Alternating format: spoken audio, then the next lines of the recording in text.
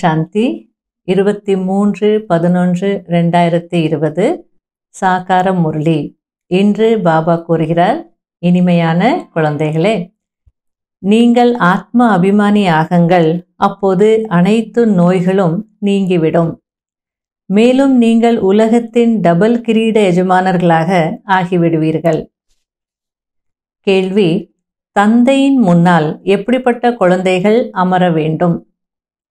பதில் யாருக்கு ஞான டான்ஸ் ஆட வருகிறதோ அவர்கள் அமர வேண்டும்.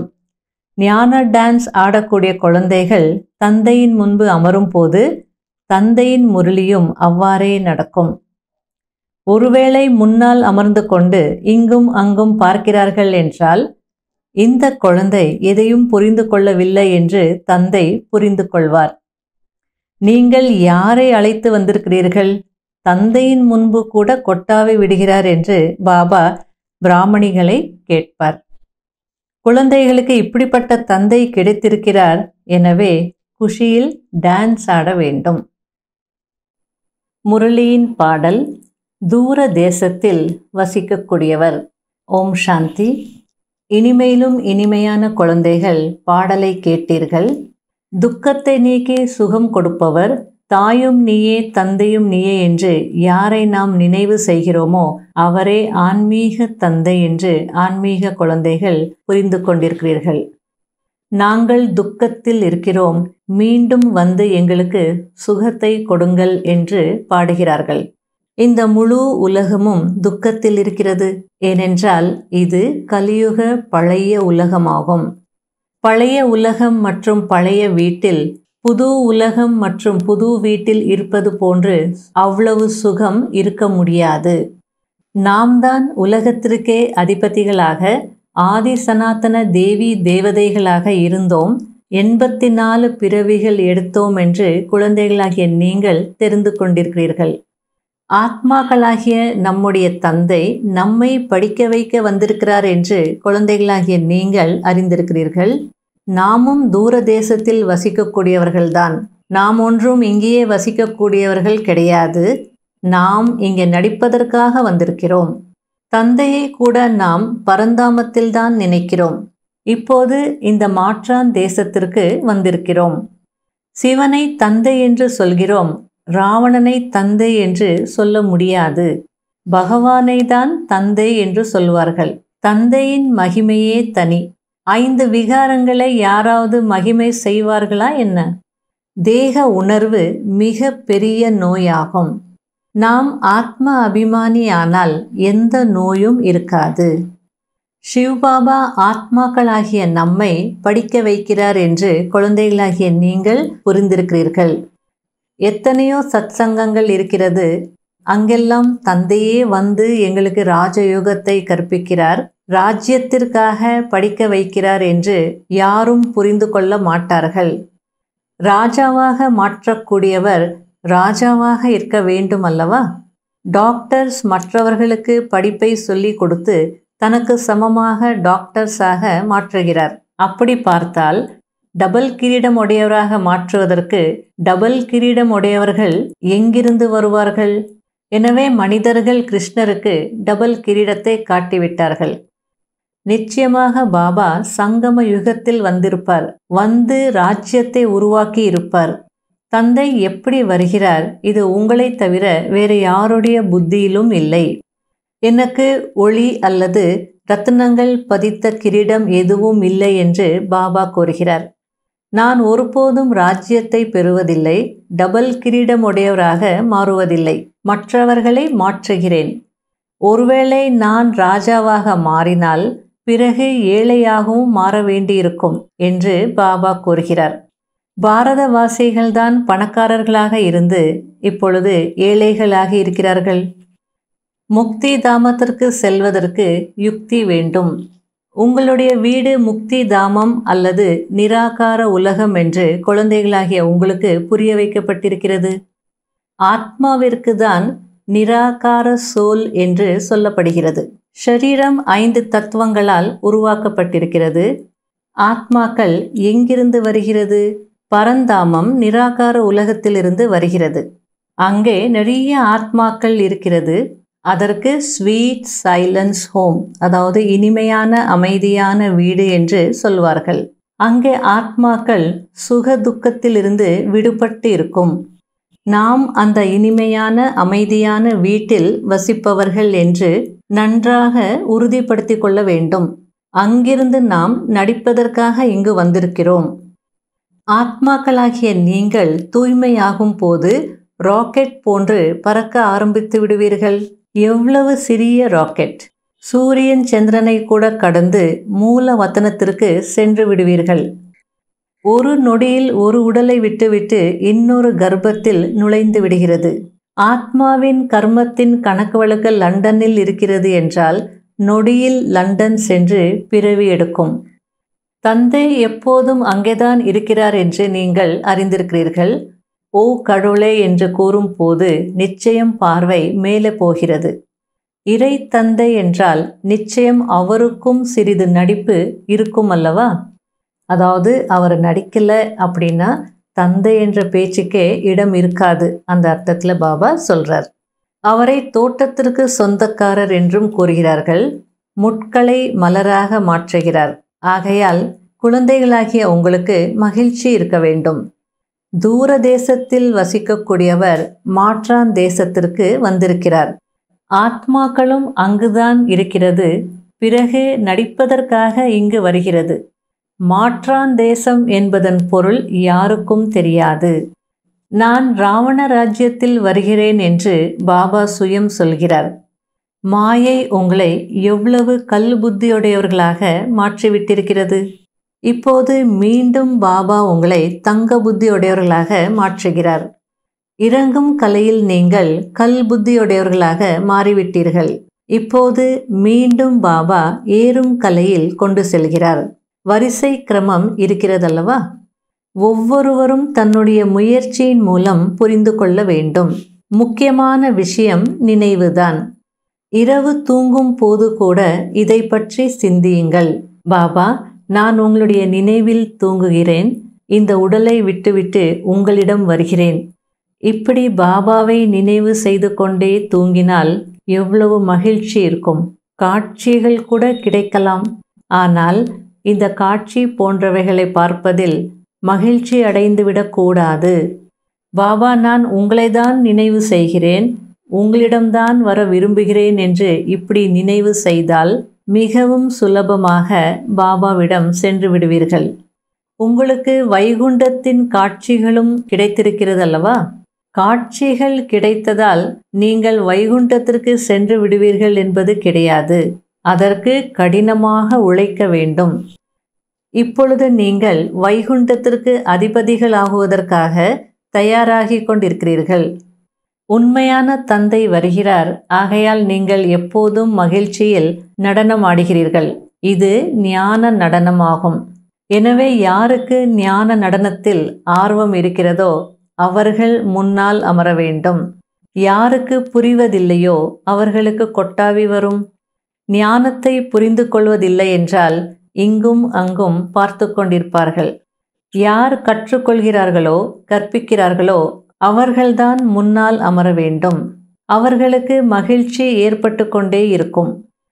நீங்கள் மறைமுகமான போர் வீரர்கள். நீங்கள் யோக பலத்தின் வீரர்கள். யோக பலத்தினால் உலகத்திற்கு அதிபதியாகிறீர்கள். ஷரீர பலத்தினால் எவ்வளவு முயற்சி செய்தாலும் வெற்றி அடைய முடியாது. பாரதத்தின் யோகம் புகழ் பெற்றது இதை பாபாதான் வந்து கற்பிக்கிறார். இதுவும் யாருக்கும் தெரியாது. அமரும் போதும் எழும் போதும் பாபாவை நினைவு செய்து கொண்டே இருங்கள். யோகா செய்ய முடியவில்லை என்று சொல்கிறார்கள். யோகா என்ற வார்த்தையை விட்டு விடுங்கள் என்று பாபா சொல்கிறார். குழந்தைகள் தந்தையை நினைவு செய்கிறார்கள் தானே? அதுபோல் தந்தையை நினைவு செய்யுங்கள். ஆகையால் என்னை மட்டும் நினையுங்கள் என்று பாபா கூறுகிறார். நான் தான் சர்வ சக்திவான் என்னை நினைப்பதால் நீங்கள் சதோபிரதானம் ஆகிவிடுவீர்கள் எப்பொழுது சதோபிரதானம் ஆகிவிடுகிறீர்களோ அப்போது ஆத்மாக்களின் ஊர்வலம் புறப்படும். தேனீக்களின் ஊர்வலம் போல் புறப்படும். கடைபிடிக்க வேண்டிய முக்கியமான சாராம்சம் முதல் பாயிண்ட் இரவு தூங்குவதற்கு முன்பு பாபாவுடன் இனிமையிலும் இனிமையாக பேச வேண்டும். பாபா நாங்கள் இந்த சரீரத்தை விட்டுவிட்டு உங்களிடம் வருகிறோம். இவ்வாறு நினைத்து கொண்டே தூங்க வேண்டும். நினைவுதான் முக்கியமானது. நினைவினால்தான் தங்க புத்தியுடையவர் ஆவீர்கள்.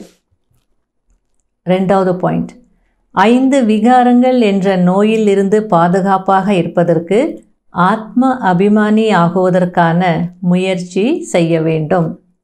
அளவற்ற குஷியில் இருக்க வேண்டும். ஞான டான்ஸ் ஆட வேண்டும். வகுப்பில் சோம்பேறித்தனத்தை பரப்பக்கூடாது. வரதானம்.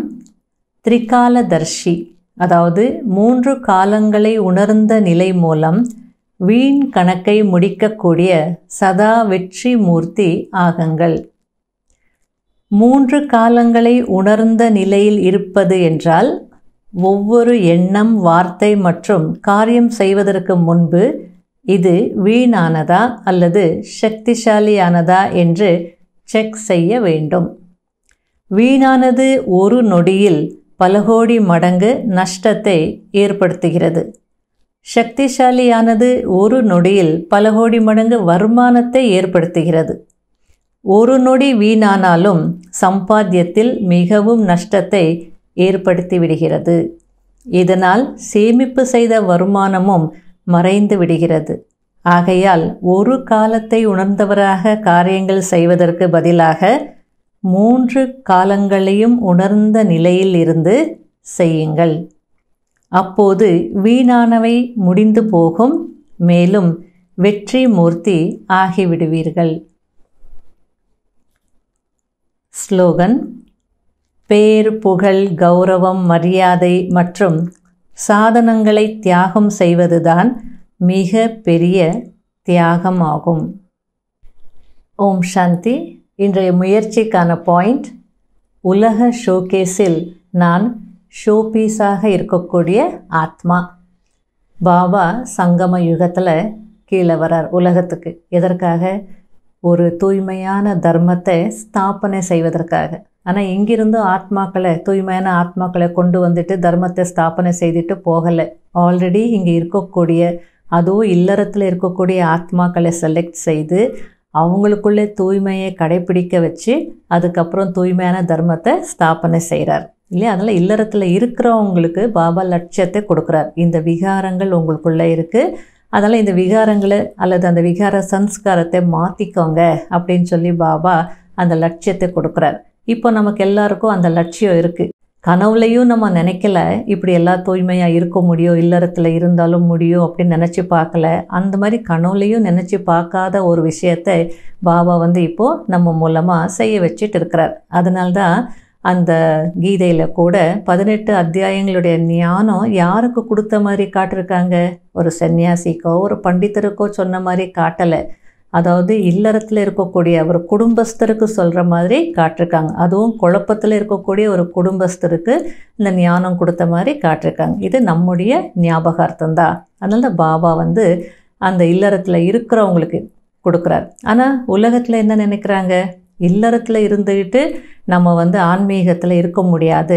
ஆன்மீகம் அப்படின்னா எல்லாத்தையும் விட்டுட்டு போகணும். குடும்பத்தில் இருந்தால் எவ்வளோ பொறுப்புகள் இருக்குது எவ்வளோ சம்பந்தங்கள் இருக்குது எவ்வளோ வேலை விவகாரங்கள் இருக்கும். இதையெல்லாம் எப்படி வந்து விட முடியும்? இதையெல்லாம் செய்துட்டு ஆன்மீகத்தில் இருக்கிறது இம்பாசிபிள் அப்படின்லாம் நினைக்கிறாங்க. ஆனால் பாபா இல்லை அதுவும் முடியும் அப்படின்னு அதுக்கான வழி அல்லது யுக்தியெல்லாம் நிறைய நமக்கு சொல்லி கொடுத்துருக்கிறார். அதனால்தான் இல்லறத்தில் இருக்கிறவங்க மூலமாக ஒரு தூய்மையான இல்லற தர்மத்தை பாபா ஸ்தாபனை செய்கிறார் அப்படின்னு சொல்லலாம். அப்போ வந்து இந்த மாதிரி ஒரு லட்சியம் நமக்கு கிடைக்கும் போது இல்லறத்தில் இருக்கிறவங்களுக்கு பாபா வந்து இந்த மாதிரி ஒரு லட்சியம் வச்சுக்கோங்க. சம்பூர்ண தூய்மையாகணும் விகாரங்கள் மீது வெற்றி அடையணும் மாயாவின் மீது வெற்றி அடையணும் அப்படின்ற அந்த லட்சியம் வச்சுக்கோங்கன்றார். அந்த லட்சியம் இருக்கும்போது நம்ம ஜெயிக்கலாம். ஆனால் அதற்கும் எப்படி அப்படின்ற ஒரு குழப்பம் வரும் இல்லையா? அப்போ அதுக்கும் பாபா வந்து என்ன செய்கிறார் அப்படின்னா அந்த ஜெயிக்கிறதுக்கான யுக்தி சொல்லி கொடுக்குறார். முதல்ல பாபா நமக்கு என்ன கொடுக்குறார் அப்படின்னா எந்த ஞானம் கொடுக்குறார் அப்படின்னா நீங்கள் இந்த மாதிரி கீழான நிலைக்கு வர்றதுக்கு காரணம் என்ன? நீங்கள் தோல்வி அடைஞ்சிருக்கீங்க குழப்பத்தில் இருக்கீங்க துக்கத்தில் இருக்கீங்க தமோ பிரதானமாக இருக்கீங்கன்னா அதுக்கு என்ன காரணன்றது புரிய வைக்கிறார். அதாவது விகாரங்கள் தான் உங்களுடைய துன்பத்திற்கு காரணம்ன்றது முதல்ல புரிய வைக்கிறார். மேலும் எந்தெந்த விகாரத்தினால நாம் என்னென்ன இழந்தோம் அப்படின்றதையும் நமக்கு நல்லா புரிய வைக்கிறார். அப்போ நமக்கு எதிரியினுடைய ஞானம் எப்போ இருக்கோ அப்போ தான் ஜெயிக்கிறது ஈஸியாக இருக்கும். ஒரு போர் வீரனுக்கு தன்னுடைய பலத்தை பற்றி தெரிஞ்சிருந்தால் மட்டும் போதாது. எதிரினுடைய பலம் என்ன அப்படின்றது தெரியணும். அப்போ தான் ஜெயிக்கிறதுக்கான முயற்சி செய்ய முடியும். அதுபோல் அந்த விகாரங்கள் பற்றிய இன்ஃபர்மேஷன் அல்லது நாலேஜ் பாபா கொடுக்குறார். அதுக்கப்புறமா என்னுடன் நீங்கள் யோகா வைங்க கனெக்ஷன் வைங்க யோக பலத்தின் மூலமாக நீங்கள் ஜெயிக்க முடியும். நீங்கள் எந்த காரியங்கள் செய்துட்டு இருந்தாலோ எங்கே இருந்தாலோ மனதார என்னை நினைங்க என்ற யுக்தியெல்லாம் சொல்லி கொடுக்குறார். அப்போ அந்த யோக பலத்தின் மூலமாக விகாரங்கள் மீது வெற்றி அடைகிறோம். அப்போ ஒவ்வொரு விகாரத்துக்கும் பாருங்கள் நம்ம தூய்மையாக இருக்கிறதுக்கு பாபா கொடுக்குற யுக்தி என்ன? எல்லாருமே ஆத்மாக்கள் ஒரு பரமாத்மாவின் குழந்தைகள். எல்லாருமே சகோதரர்கள் அல்லது சகோதர சகோதரிகள். இதெல்லாம் நம்ம குடும்பத்தில் இருந்து செய்ய முடியும்னு நினச்சி பார்த்தோமா? ஆனால் இப்போ செய்துட்ருக்குறோம் இதன் மூலமாக தூய்மையை கடைப்பிடிக்க வைக்கிறார். அப்போ ஒவ்வொரு ஆத்மாவும் நம்ம தூய்மை ஆகும் போது இந்த உலகத்தில் தூய்மையான தர்மம் ஸ்தாபனை ஆகிடும் லக்ஷ்மி நாராயணனுடைய ராஜ்யம் ஸ்தாபனை ஆகிடும் அதே நேரத்தில் அமைதி தான் உங்களுடைய சுய தர்மம் அப்படின்றது புரிய வச்சுட்டார். அதனால் அமைதியாக இருக்கிறது ஒரு பெரிய விஷயமா தெரியல. நம்முடைய சுய தர்மம் அப்போ நம்முடைய சுய தர்மத்தில் இருக்கும்போது நம்ம ஈஸியாக அமைதியாக எங்கே இருந்தாலும் எல்லா காரியங்கள் செய்ய முடியும். பொறுப்புகளை எல்லாம் நல்லா அமைதியாக செய்ய முடியும். பேராசை. பேராசையின் காரணமாக எவ்வளோ தவறுகள் வந்து உலகத்தில் நாம் செய்தோம் இன்னும் இப்போ செய்துட்டும் இருக்கிறாங்க. அதே நேரத்தில் பற்று. அப்போ அந்த பேராசைக்கும் பற்றுக்கும் காரணம் என்ன அப்படின்றது புரிய வச்சார். உலகத்தில் இருக்கிறது எல்லாமே அழிய போகுது.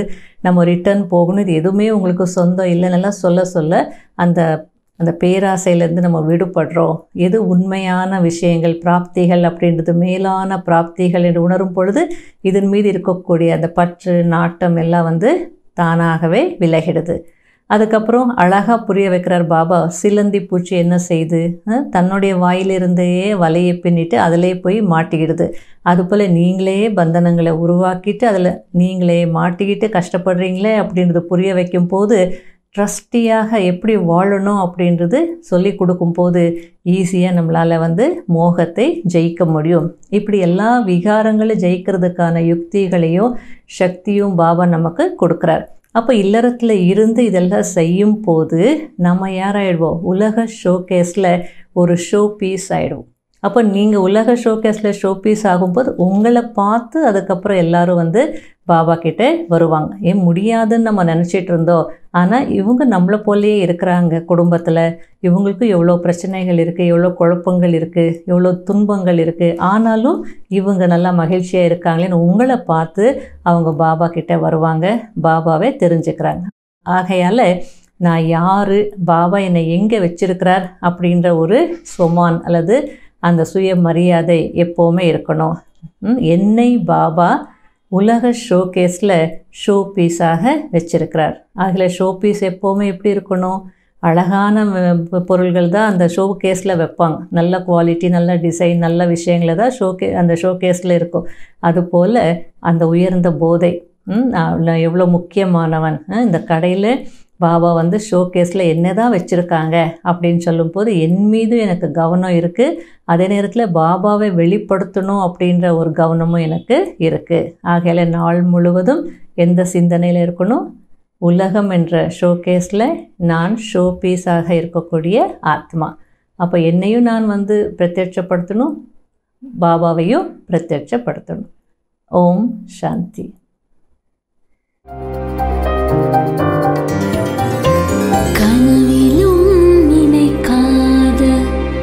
வாழ்வொன்றை வரமா